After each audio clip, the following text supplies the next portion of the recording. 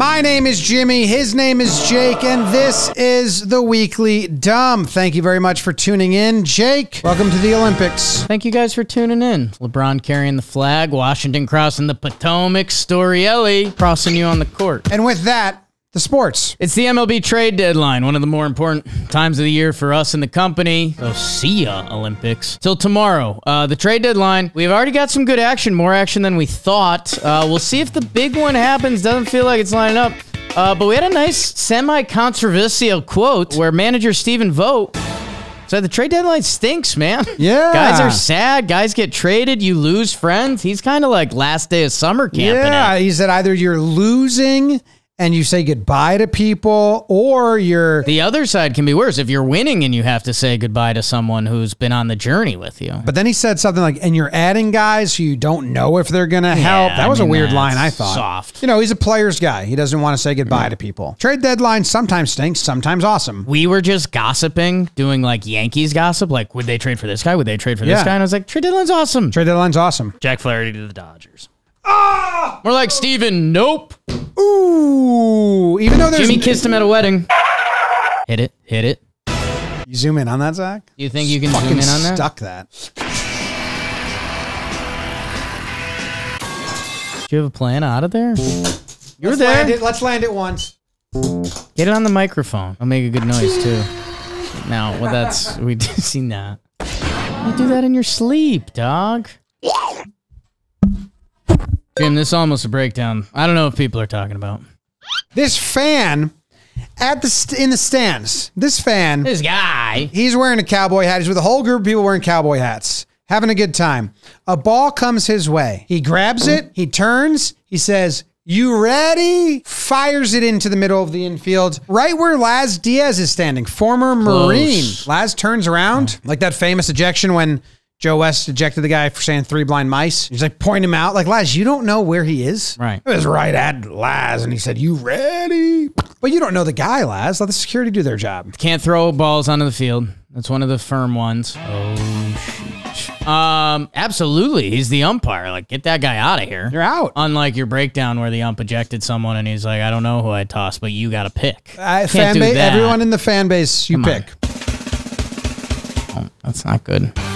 It's not bad, but it's not good. Hey, DraftKings is sponsoring this episode, and they're also sponsoring a game to 100 runs in the warehouse this Thursday. Jake and I will be playing, as will other people who will go on to be known as the losers. Loser. Tune in noon Thursday.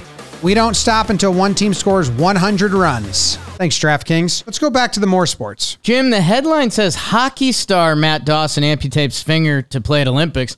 I'm going to get in front of this. Ice hockey and field hockey, you need to start saying your front word. Because when I found out Matt Dawson was a field hockey guy, I don't care, but that's a huge aspect to the story. He's a field hockey player for the Kookaburras, Right. and he fractured his hand, finger, hurt it. And to do surgery and repair it was three weeks. Olympics only happen once every four years. Right. He said, you know what? Cut me. He cut off his finger. Surgery knocked him out for a while. It was 10 days if they chopped it off. So he just cut it off. Yeah. Why not? He's got a little more of a nub than that. Yeah, I think it's just a top knuckle, which I can't do. Yeah, that's don't do that. Finger that nobody cares about. It's the Olympics and they have a chance to win a medal. So like, yeah, you chop that finger off. Yeah. What was this? Not sports though. Yo, the not sports is This isn't you. crazy. This isn't you. The not sports is Zach. New Jersey man. Plug yo ears. No, I don't go that far down to Wildwood. You know, because wild shit happens here.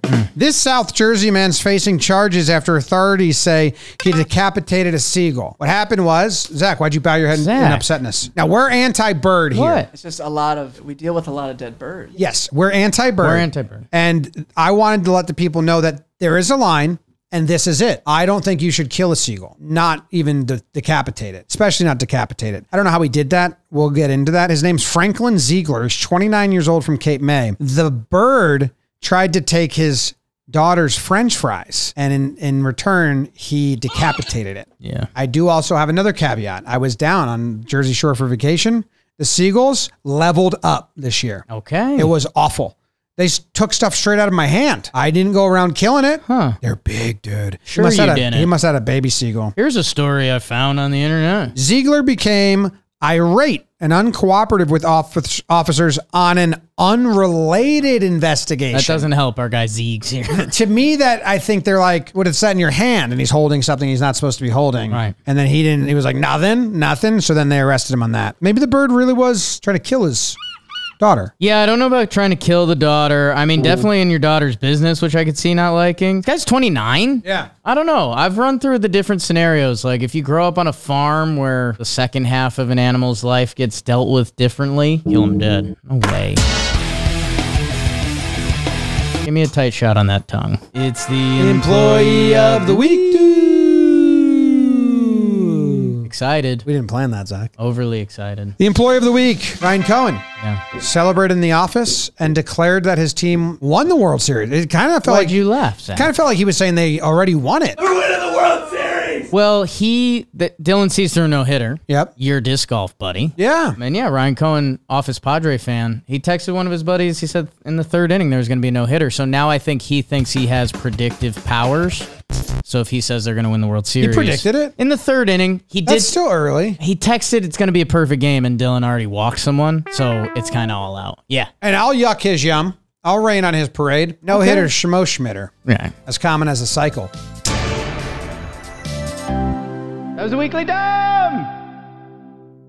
Today's episode of the Weekly Dumb was brought to you by our good friends at DraftKings Casino. New players, it's showtime. Play $1 and get $100 in casino credits instantly. Choose from over 300 real money games, slots, blackjack, roulette, and live dealer games whenever you want. And if DraftKings Casino isn't yet available in your state, check out DraftKings Daily Fantasy app where you have a shot at winning cash prize all season long. So head to DraftKings Casino app now. New customers sign up using promo code Big Dumb. Play just $1 and instantly receive $100 in casino cash credits. That's Big Dumb.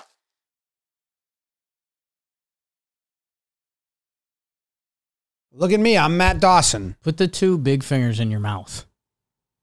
I think I lose it then. I liked it.